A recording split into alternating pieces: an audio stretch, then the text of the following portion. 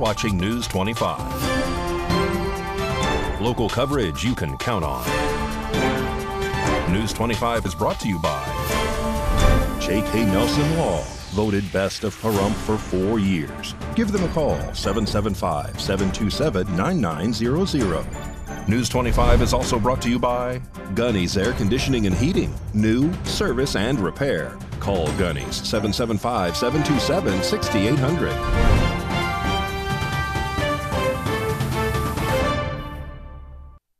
Welcome to News 25 and Ace Country Radio and streaming at kpvm.tv. I am Roy Rowsell on this Thursday, February 8th.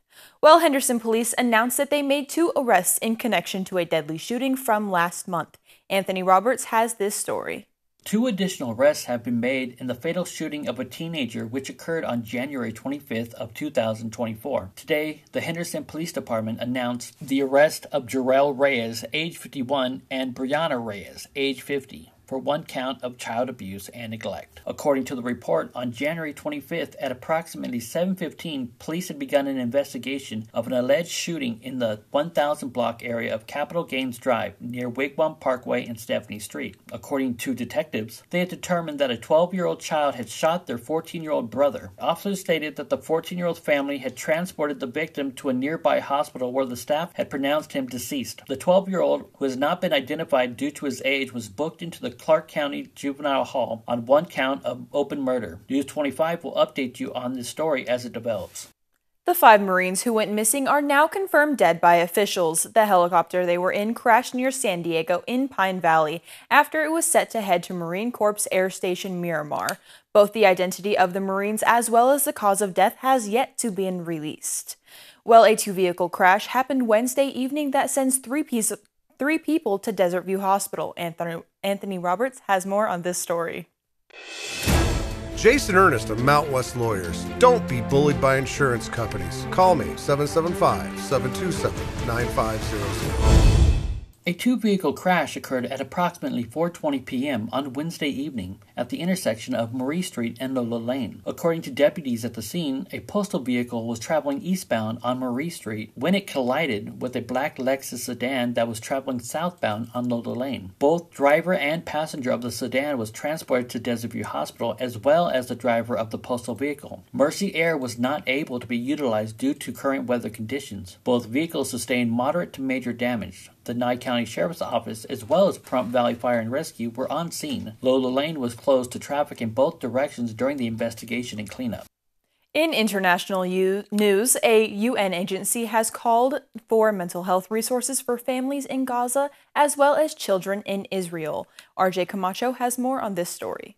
The head of the UN Committee on the Rights of the Child has called for mental health support for kids and families within the Gaza Strip. Additionally, she has called for this massive psychosocial support for Israeli children as well, who were either victims or witnesses to the Hamas attack on southern Israel that occurred on October 7th. Ann Skelton referred to the death toll in Gaza, which has risen over 27,000. She pointed out that many of those deaths were of children as well. She went on to state that no child should grow up in fear, pain, and hunger. Yet today, no child in Gaza is free from fear, pain, and hunger. In fact, they'll be considered lucky if they can even survive this war and have the chance to grow up. Skelton also stated that colossal humanitarian needs are being faced by the over 2 million people still alive within the Gaza Strip. Other than the mental health support for people in Gaza and children in Israel, she additionally called for the immediate and unconditional release of the hostages being held by Hamas, as well as calling for an immediate ceasefire. Meanwhile, the foreign minister for Egypt, Sameh Shoukry, has called upon the international community to shoulder the responsibility of pushing for a ceasefire between between Israel and Hamas in order for humanitarian aid to reach the people of Gaza. Additionally, Shoukry also called upon countries that suspended funding for the UNRWA to continue their support for the UN agency. He believes that the UNRWA's role in providing assistance and services to Palestinians in Gaza is indispensable, even though they have received some additional funding from Spain in order to stay afloat for the rest of the month. The lack of funding has hindered the agency's ability to aid Palestinians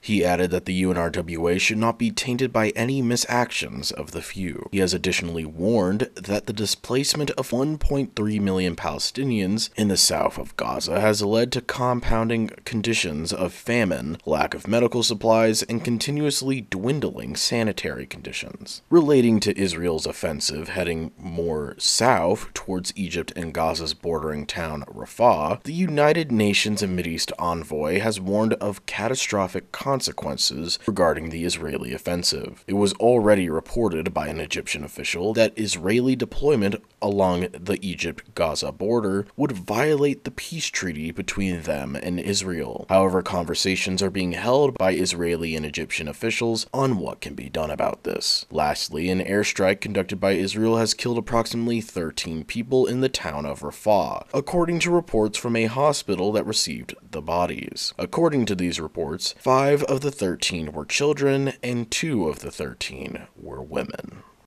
We'll have more news coming up after this break.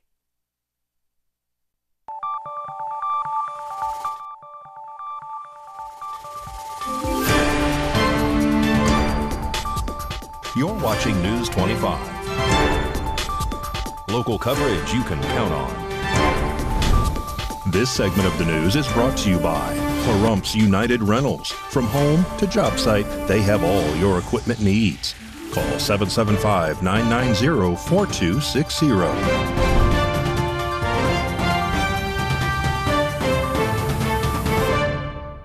And welcome back to News 25. Well, News 25 spoke with candidate Tammy Pittman, who is running for county commissioner in Nye County District 3 to hear about her values, her plans, and what she offers, what her and what her opponents may not. Things that are most important to me, first of all, is water, because it is our most precious resource. And if we run out of water, our homes will be worthless and we won't be living here. So it will be literally a ghost town. Secondly, I think it's really important to keep my County and Pahrump in, in a wonderful place to live, raise a family, and work. And to that end, we have to make sure we have the resources but spend our money wisely without putting the tax burdens so high that the, all the um, people who are on a fixed income, including myself, can work here and live here. On the topic of water, her main concern is the preservation of it. She says that some of the aquifer's water levels in the county are dropping. Now, there are parts of the valley where it's actually rising, but again, the, that water can't be transported across. It would be very expensive to do that. We're already going in the negative direction that means we have to find ways to conserve what we have. In terms of fixed income, her concern comes from the spending of money that results in the raising of taxes. She worries about the burden that places, especially on those with a fixed income. Tammy Pittman also says that she'll always be concerned for the veteran community in Nye County, whether or not she's elected for commissioner of District 3. My husband served 20 years and I served 10 we belong to Combat Vets Motorcycle Association. One of the things we do there is to help people get we call wind therapy or cycle therapy or two wheel therapy because when you're riding, you have to concentrate on the road, not on your problems, and it's really it's conducive to more mental health. Uh, and my husband is a big member of the DAV where he helps people with their disability claims, and that's a passion of his, and I support him in that 24. Now, one of the big questions we had for Tammy Pittman was what does she feel she offers that her opponents don't? She says her time in the military as an electronics technician and her degree in human resources are some of the things she feels she can offer to the community. So, workers' comp, unemployment, benefits, compensation, t- training, all of these things, I wore every hat. And as a result, would be a benefit to the town, county, to understand all these things from behind, from a different perspective, sort of as a resource to the town manager. But she says there's one thing that truly sets her apart from the competition. I'm not a business owner in this town. I'm not going to be doing this to line my own pockets or to make for benefit for myself. I'm not going to be looking at anything from that perspective. And I'm also not going to be looking at it from sensationalism, trying to gain viewership, etc. So I think my motives are purely uh, for the best of the county. She had one last message for those who have been spreading rumors about her allegedly being in VEA's pocket. I volunteer at the VEA. It's the policy committee. I do that because, if you recall, there was a rather large fracas years ago where VEA was left in a financial ruin. I was really caught unawares, and I think a lot of us were. There was a lot of us who were very angry at our the district directors that had been voted in who didn't hold that executive director accountable. By volunteering there, I'm seeing what's happening on, on firsthand. And it's a passion of mine as well to make sure that it doesn't happen again. If you have any questions for Tammy Pittman, you can contact her by going to pahrumpforpittman.com or by calling her at 775 513 7162. If you'd like to see a change, if you'd like to see improvements, please vote for me. Thank you. Valley Electric Association has some energy saving tips for its members. This segment of News 25 is brought to you by Valley Electric and its family of companies focused on serving our members. We're better together. In today's world, energy efficiency isn't just a buzzword, it's a critical step towards sustainability and saving money. Let's explore some simple yet effective ways to make sure our homes are more energy efficient. First, turn off light switches when not in use. It's a small habit that can make a big difference in reducing energy consumption. Along with turning off switches, you should also unplug unused appliances or devices. These appliances can draw power even when not used. Addressing any leaks leaky faucets can also help reduce energy consumption, especially if it's a hot water leak. Similarly, ensure your well is in good working condition and there is no leaks in your water lines. Not only can leaks waste gallons of water, but they can also lead to a large unnecessary energy usage due to pump excessive cycling. Leaky doors and windows can also let precious heat escape during winter and cool air in the summer. Using weather stripping and caulking is a simple fix that can also improve your home's energy efficiency and won't break the bank. Speaking of heating, some HVAC units have heat strips. Make sure your emergency heat isn't unnecessarily activated. Heat strips can be costly to run and, if left on, can consume a lot of energy. Regularly check your thermostat settings to ensure that you are using the most efficient heat settings. Wrapping your water heater is another step towards energy efficiency. Insulating it helps maintain water temperature, reducing the workload on your water heater, and reducing its energy consumption in the process. By implementing these simple strategies, from turning off switches to addressing leaks and optimizing heating, we can all play a part in conserving energy and building a more sustainable future for generations to come.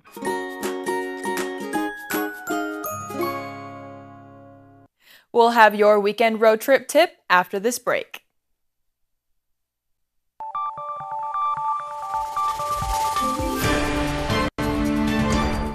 Watching News 25. Local coverage you can count on. News 25 is brought to you by Mountain West Lawyer, Injury Attorneys, 727 9500.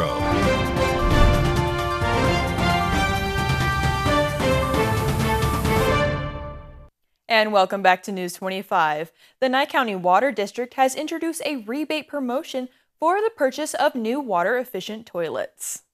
This week, the Nye County Water District launched a new program to help promote water conservation by offering a rebate to the public on purchasing new water efficient toilets. According to Helene Williams, from the Water District, the application is quite thorough. A receipt for both the purchase and the installation of the new water efficient toilet, such as before and after photos, or an invoice from the plumber will be required before the rebate will be issued. The rebate covers up to $100 per 1.1 gallon flush toilet or up to $50 per 1.28 gallon flush toilet. dual flush toilets are not included in this rebate. The program also covers up to $20 on components that often leak, such as the flapper. To determine if your flapper is leaking, the Water District will also provide detection tablets at no cost to the public. This toilet and flapper rebate is open to all Nye County property owners, residential and commercial. This rebate will only be issued once per property, and taxes, installation fees, nor parts or supplies needed for the installation will not be included in the rebate. The rebate application can be found online at NyeCountyWaterDistrict.net, or for more information, you can contact the Water District by calling 775 727 3487. Well, now here's Mikey with your weekend road trip tip.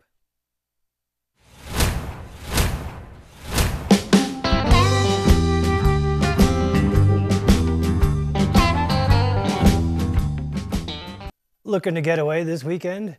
Here's Park Ranger from Death Valley National Park to tell us all about how you can get your own private tour to Scotty's Castle.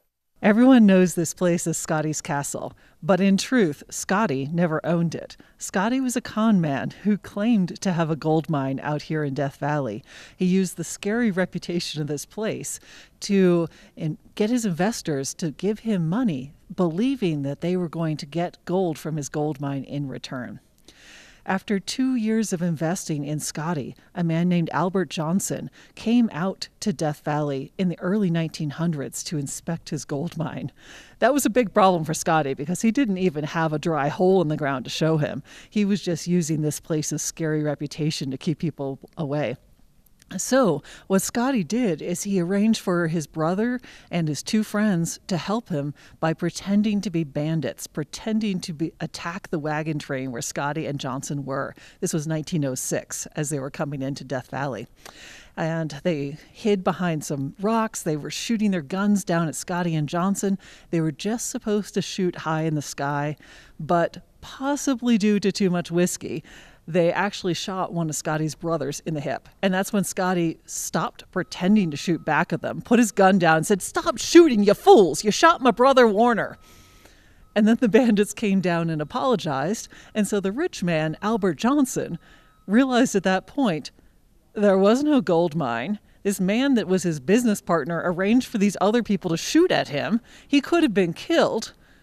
Any normal person would have been really mad at this point maybe shot back themselves, maybe got the law involved, but the our story gets really weird at that point. Albert Johnson was having the time of his life out here in a Wild West gunfight with a cowboy trained by Buffalo Bill that had worked in the Wild West show. That was Scotty. And so he went back to his home in Chicago, didn't tell anyone that he had been lied to, and kept sending Scotty money. He then Albert Johnson eh, started bringing his wife, Bessie Johnson, out every year or two to vacation here in Death Valley. And eventually, they gave up the charade of a gold mine, built this vacation home, and Scotty was their personal entertainer. So that is the story of Scotty's Castle. Scotty's Castle is still closed while we are repairing damage done by a flood that happened in 2015. We hope to be fully back open by the end of 2025. But in the meantime, people can come on limited tours, Sundays only, through early April by signing up at dvnha.org is the website to sign up for those once a week tours only on Sundays to see the construction happening, to learn about the story, and to see the castle and learn about the history.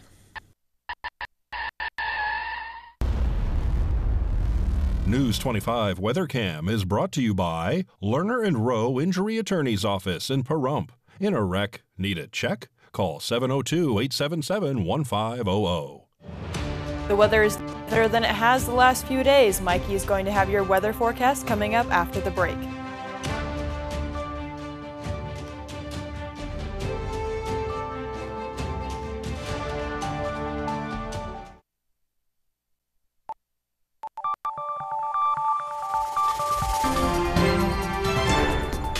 News 25 Weather is brought to you by Dairy Council of Nevada. Undeniably delicious, undeniably dairy. Enjoy what's real.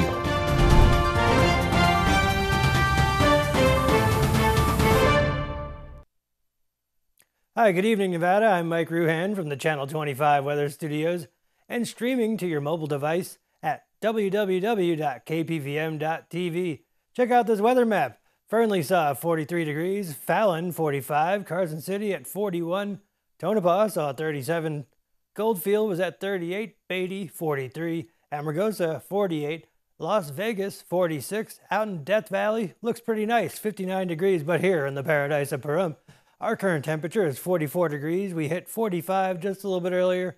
Winds south southeast out of at 4 miles per hour. Humidity was 69% and the sun rose at 6:38, setting this evening at 5:17. That was just a little bit ago. We're going down to 34 tonight with the humidity going up to 78%. How does that set us up for the 7-day forecast? Well, tomorrow we'll get through it. A little bit cloudy, but Saturday and Sunday, what is that orange thing? Yellow? It looks like sunshine. We creep back up into the 50s, and by Wednesday, that is the day I suggest you call in sick to work. 60 degrees and sunshine. Can't wait. Back to the desk. Here's Rory. Thank you so much, Mikey. Well, that is going to wrap up this edition of News 25. I am Rory Rowsell. Everybody have a safe night, and I'll see you tomorrow.